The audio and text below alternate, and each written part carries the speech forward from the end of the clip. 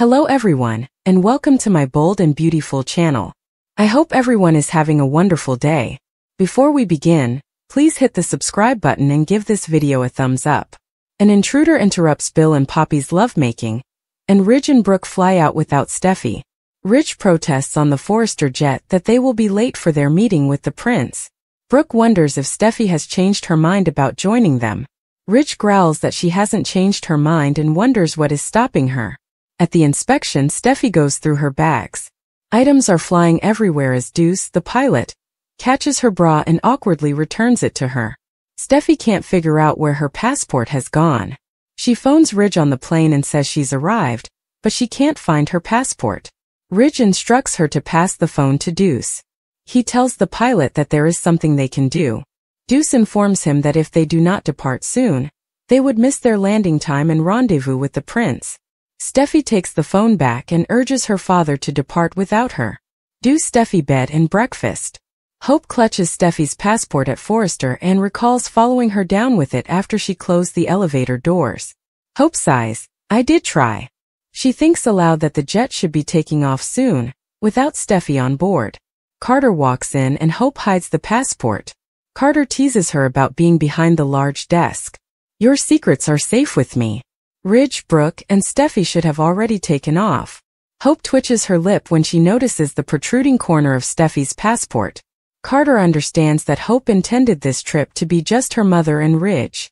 Hope responds that if Steffy wants to be a third wheel, who is she to stop her? Carter feels the trip is important and understands why she wants to go. Hope explains that it's all about Brooke's bedroom. Carter believes Steffy is the co-CEO. Hope asks if there is anything he requires. Carter is taken aback and turns to leave. Hope stops him. She didn't mean it that way. You're right, it would be a shame if Steffy wasn't there. More B&B's other Thomas comes back. In Li's office, she questions Katie about her suggestion that Poppy was involved in the overdoses at Il Giardino.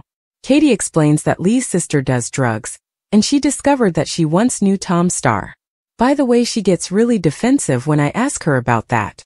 Katie genuinely wants to know what Li thinks. Is it possible Poppy is responsible for Tom and Hollis' deaths? Li declined to give her credit. Katie is frustrated.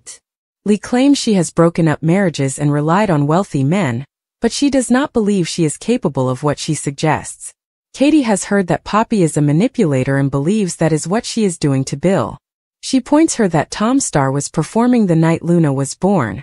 Li says, Katie enough. She is 100% positive that Bill is Luna's father.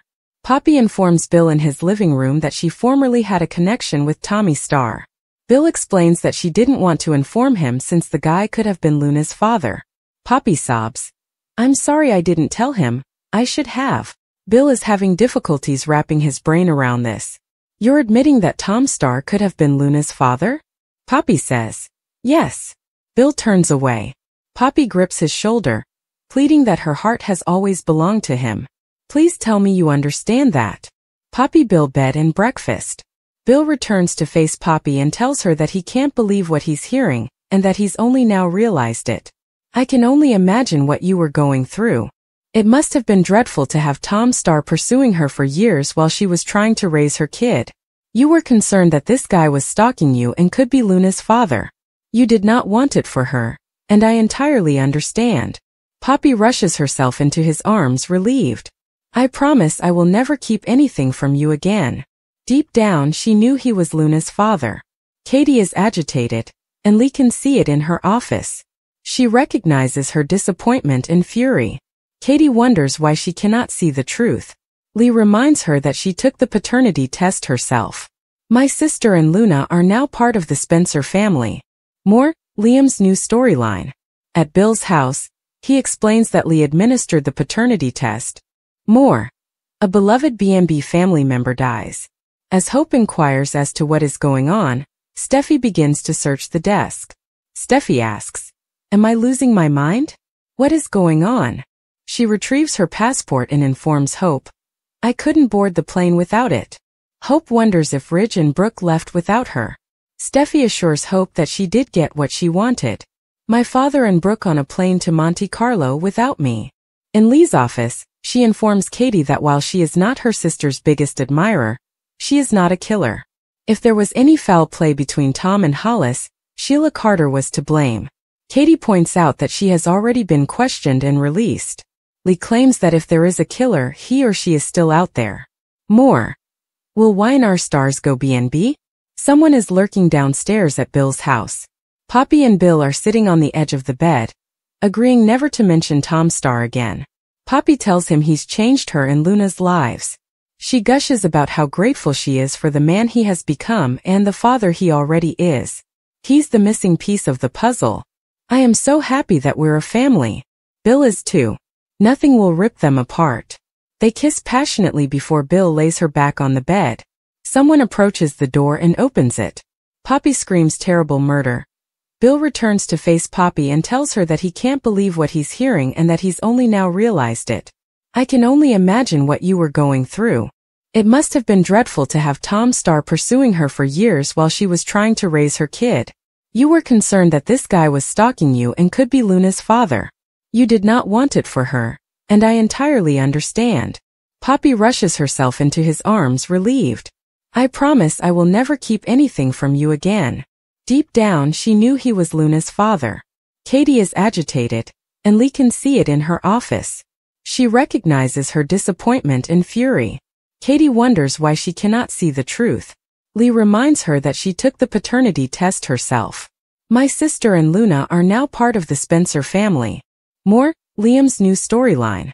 At Bill's house, he explains that Li administered the paternity test, and everyone knows she didn't want him to be Luna's father. He has no doubt about that. Poppy claims he fascinates her. She describes how when she saw him again, all of her barriers were up, but he broke them down again. She has enjoyed every minute since then. He has been kind, generous, and understanding to her and her daughter. Bill says her and Luna are very important to him.